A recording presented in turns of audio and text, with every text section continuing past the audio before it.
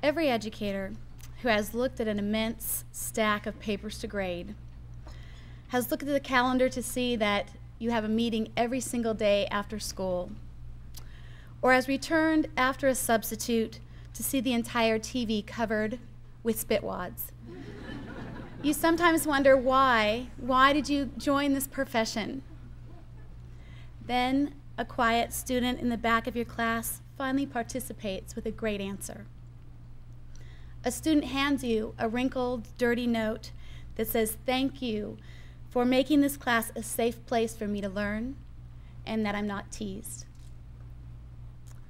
Or a former student who you thought might not graduate is now a student at Delta College, a checker at Raley's, and he yells out to you in line when you're there in your sweat clothes and says, You are the best English teacher I've ever had, as the people are waiting to get their food checked out.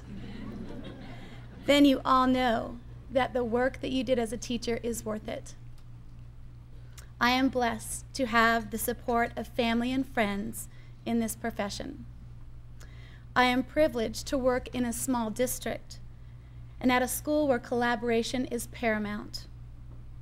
And I am humbled to be selected from a group of colleagues who are wonderful teachers that embrace change and who truly care about every student Thank you for this honor.